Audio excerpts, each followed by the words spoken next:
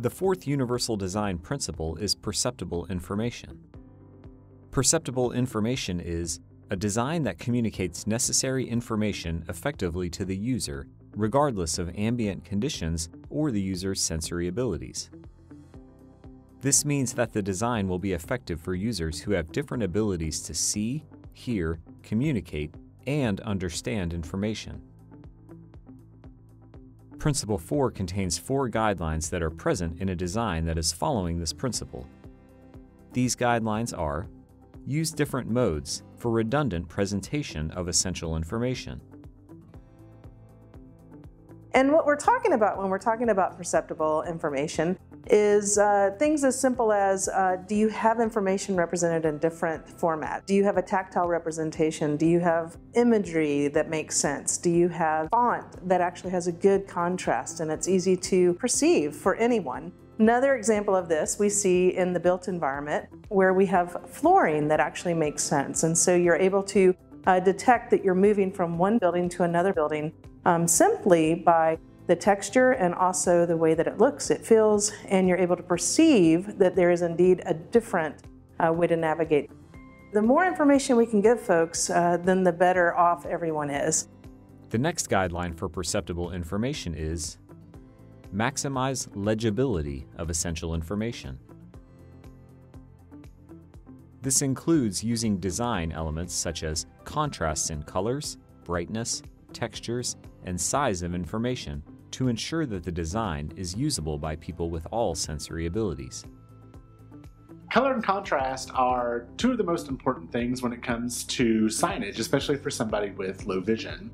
Um, having the right size, having the right contrast, whether it's light on uh, a dark background, can make the difference for somebody actually being able to tell what the instructions are for exiting a burning building or crossing the street. With um, advances in mobile technology, one of the great things is that I have the freedom to get the perfect contrast for myself. I can turn on a color filter and use a red overlay, which is one of the best contrast um, colors for me.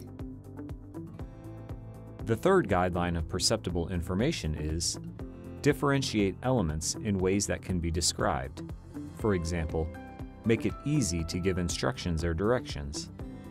And we created um, this uh, wind chime project. A solar wind chime was basically a wayfinding system that was sound activated. So for blind um, users or navigators on our campus, they could have audio cues that could tell them when they're at certain intersections on campus.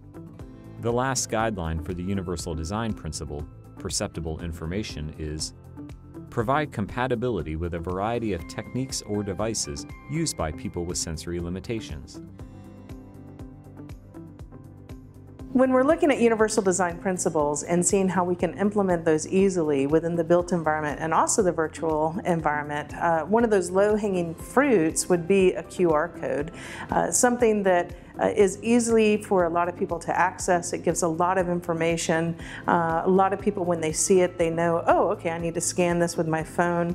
If you embed that also with beacon technology that allows you to know that there actually is a QR code around, um, then you can actually get a lot of information quickly in a format that makes the most sense for you. And so it makes everything to be much uh, more easily understood and also easy to perceive.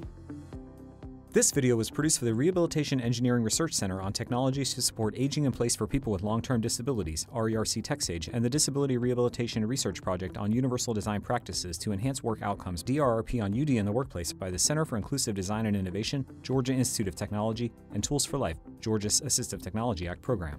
RERC TechSage and the DRRP on UD in the workplace are supported by grants 90REGE006 and 90DP0049 from the National Institute on Disability, Independent Living, and Rehabilitation Research, NIDLR. NIDLR is the center within the Administration for Community Living, ACL, Department of Health and Human Services, HHS. The contents of this video do not necessarily represent the policies of NIDLR, ACL, or HHS, and you should not assume endorsement by the federal government.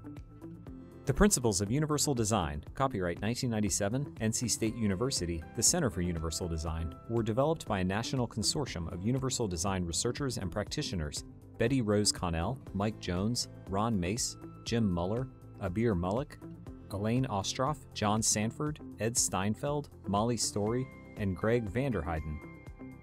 Funding for the project was provided by the National Institute on Disability and Rehabilitation Research, now National Institute on Disability, Independent Living, and Rehabilitation Research, NIDLR.